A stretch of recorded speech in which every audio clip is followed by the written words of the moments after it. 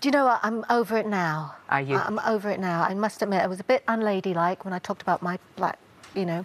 What do you remember bottom. that? I told him to kiss my black. Oh, you did. thing. You did. You did. But which wasn't The ladylike. behind. Yeah, The the, behind.